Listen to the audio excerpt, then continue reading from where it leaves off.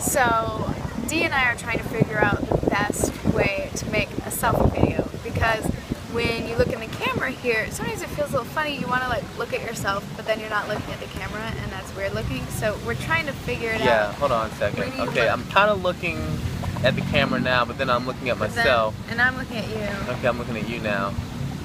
I don't So- understand. This is like Let's see if, let me try. home video making 101 with the Okay, So, Two kids with an iPhone camera. I think I think we got it. I think we figured it out.